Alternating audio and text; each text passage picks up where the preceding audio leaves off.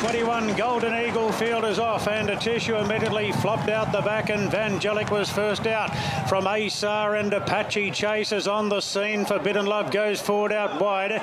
Then Ellsberg Count De Rupee pushing into a prime position early. They're followed then by Meteor Award getting past Maximal is in the first half of the field on the outside of I'm Thunderstruck then Love Tap Exo Boom.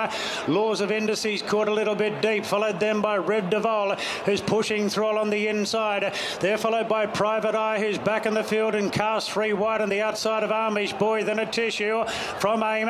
And Agon's last of all. Forbidden Love leads up the Golden Eagle field from the Queenslander Apache Chase. Asar's caught three deep in the third, followed by Vangelic Count De Rupee.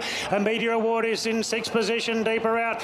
Then came Ellsberg from I'm Thunderstruck. Maximal, Laws of Indices out very deep. Further back then to Love Tap as they approach the turn from Rev Devola. A very deep out private eye as they straighten up now. And Forbidden Love and Apache Chase swing together. Clear from Vangelic, Count De Rupee into the clear, running on well. Then came Asar from Ellsberg. I'm thunderstruck. Private Eyes coming right down the outside as Count De Rupee moved up to take the lead from Apache Chase. It's Count De Rupee getting a half length on Apache Chase. Then I'm thunderstruck digging in now. Count De Rupee. I'm thunderstruck went boom over the top.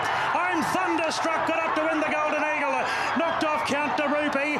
And I think Vangelic third in front of Apache, Chase and Ellsberg. Followed by Love Tap, Forbidden Love.